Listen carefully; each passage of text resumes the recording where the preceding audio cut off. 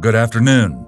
The Citadel Corps has detected a new warehouse invasion and announced mass conscription. All those who respond will receive tasks from the recruiter in their shelter, with the aim of eliminating ghouls in the territories. Complete these tasks and get points. You will receive new tasks every day. The more tasks you complete, the more points and rewards you get. The Citadel Corps also encourages you to collect and identify bloody artifacts. Hand identified artifacts to our recruiter at the shelter and get points. We've also received information about cocoons in the windbreak and the desolated hollow. The Citadel Corps would most appreciate their destruction.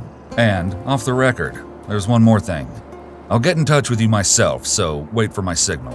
I'll make it worth your while. It's about the warehouse. We seem to have found a passage to a previously unexplored zone where a particularly dangerous mutant lives.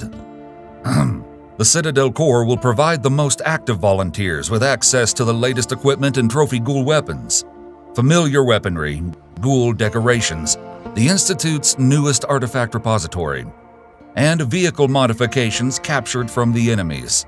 Hurry, the counterattack must happen soon, and there are plenty of people wanting rewards.